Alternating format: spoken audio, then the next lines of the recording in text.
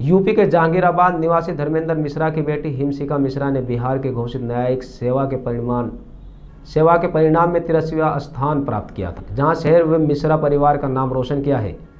जज बनने के बाद प्रथम बार जहांगीराबाद पहुँचे न्यायाधीश हिमशिका मिश्रा का परशुराम सेवा समिति व नगर वासियों ने फूलमाला डालकर भव्य स्वागत किया। आप जहांगीराबाद में आई आपका स्वागत हुआ। कैसे महसूस कर रही हैं आप?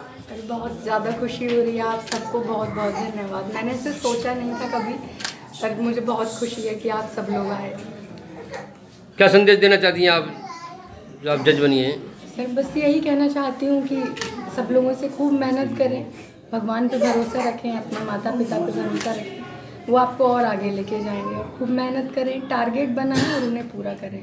आप ज़रूर सक्सेड होंगे। इसका सिर आप किसे देती हैं?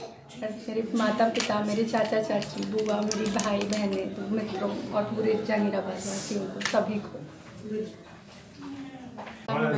पूरी की।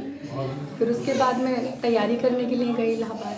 धीरे धीरे तैयारी करती गई। बीच में अप्स डाउन भी बहुत देखे। बहुत कुछ खोया बहुत कुछ पाया।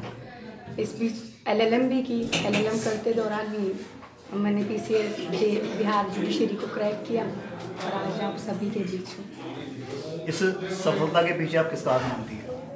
सबसे पहले ईश्वर का हाथ फिर अपने गुरुओं का अपने गुरु महाराज जी का अपने सभी मित्रों का माता पिता का भाई बहनों का सभी का सर पूरे जहांगीराबाद वासियों का क्योंकि कोई भी ऐसा बंदा नहीं है कि मैं किसी एक को ये कह सकूँ कि सभी ने योगदान दिया किसी ने प्रत्यक्ष रूप से किसी ने अप्रत्यक्ष रूप से सभी मेरे साथ जज बनने के बाद युवाओं के लिए